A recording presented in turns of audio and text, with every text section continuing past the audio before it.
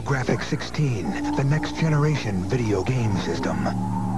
It's four times faster, so the games are more exciting. There are almost 10 times as many colors, so the arcade quality graphics are even more intense.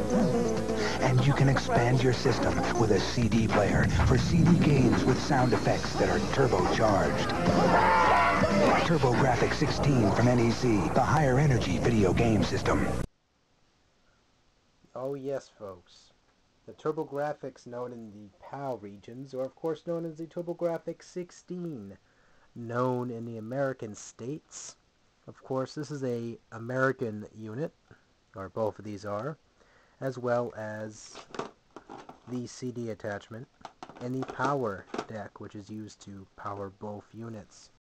However, we're going to be focusing today more on this beauty right here the TurboGrafx 16. This one's been through a little bit of a scuffed up hell. I got this a while back. I was very happy to grab this game console that is. And, well, here's a couple things about this console that you probably know or don't know.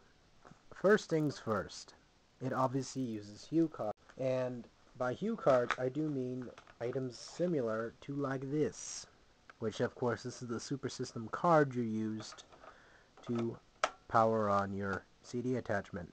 Sadly mine is on hiatus until I could figure out how to fully fix it. Either way, this unit was powered in to of course have a very simplistic setup. Plugged controller, which of course is obviously this big hulking beast, went into the front of the unit and generally you played your games like that. This, of course, is a differently ver modified version of the original controller that NEC developed. At first, it did not even have these, the turbo feature. Then, of course, they just said, here, you have the turbo button, which was a big deal back in the day. Even the controller feels very good on the fingertips. You can actually, it responds and moves and actually feels wide enough and comfortable enough to manufacture good gameplay. Some of its more notable games, of course is obviously Alien Crush, Bonk's Revenge, Sinistar, World, World Class Baseball. I crap you not folks, this game is fantastic.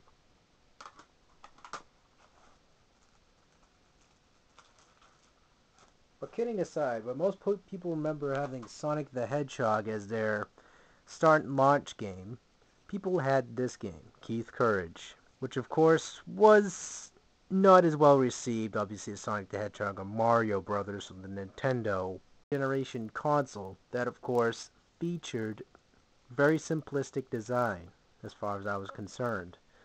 Very thick chips, and of course, these are very static prone, so if you were to rub this against like one of those static based materials, this would actually format itself and make it blank. So I wouldn't recommend putting this inside of a sock or anything and running across the floor with it.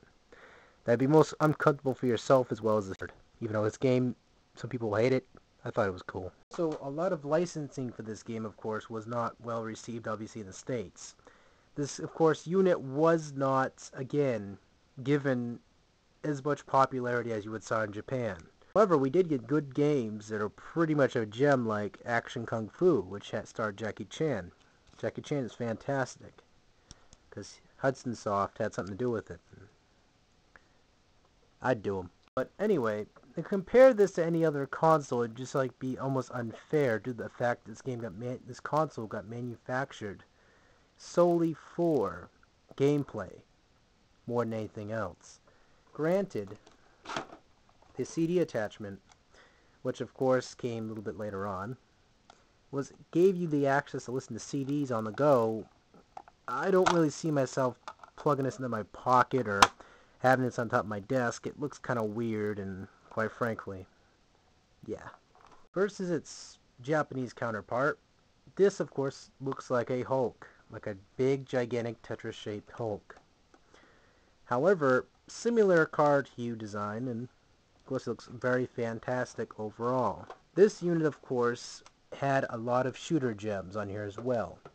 If you guys want to compare a lot of good games, again, I'd like to throw out there, obviously Sinistron, Blazers, and other ones too. It, it's again, this console had a beautiful lineup of games.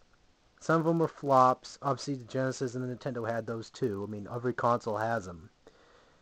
Sadly, this console was not well received because to the fact that the Sega Genesis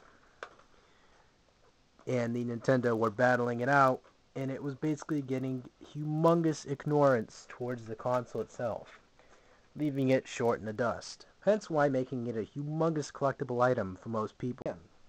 The CD attachment for this, I'm going to get into this potentially in the next episode or so and discuss more of the games on that.